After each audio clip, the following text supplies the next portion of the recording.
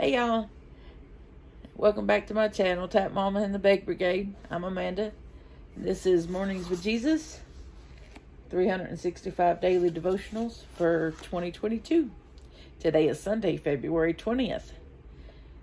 And our devotional starts off with a Bible verse and then an inspirational story.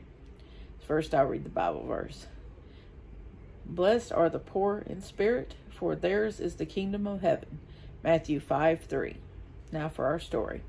When our, tur- when our children were little, and my husband and I were zipping up jackets and tying shoes on our way out of the house, our progress often stalled as one of one or more child shoved our hands away, saying, I'll do it myself. They didn't want to accept help. Their independent independence made me smile because I realized I wasn't that different. Our culture idolizes rugged individualism. The athlete or an entrepreneur who puts in solitary effort and achieves a great goal is lauded. A person with disabilities who fights through obstacles without relying on others is praised. I buy into this theme of I do it myself.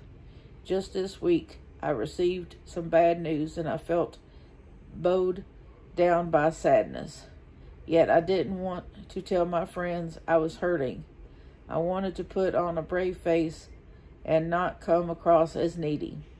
But Jesus challenges me in his Sermon on the Mount, which is why I wanted to write a series of devotions that will explore the blessings of the Beatitudes over the next week.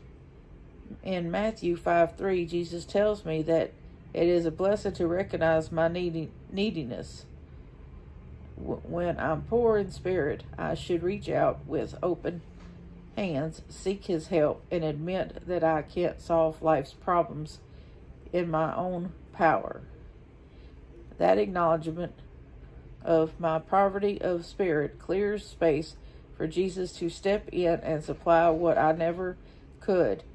The Lord who, who created me, redeemed me, and continues to sanctify me, invites me into his kingdom, the kingdom of heaven. Sharon Hinck. Faith step. Lift up open hands and admit your lack of Jesus.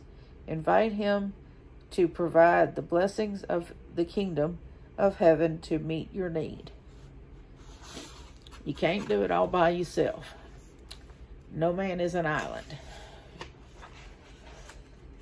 Or woman, for that matter.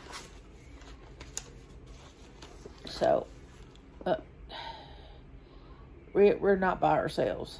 Not, not in any, any stretch of the imagination. Even people who think they're by themselves aren't by themselves. We all need a little help every now and then. Uh, as much as we hate it. and boy, do I hate it. but, you know, it is what it is. Um, my mother loves to be independent. She hates to depend on other people. But she does sometimes. But uh, try not to let your independent streak override your common sense. You know, if you need help, reach out to it. It's, it's there mo most times for most things. Anyway, uh, if you need prayer, please don't hesitate to leave a comment. If you uh, need need a private prayer request, my email will be in the description box. Uh, anyway, I love you all. God bless you, and I'll see you on the next one. Bye.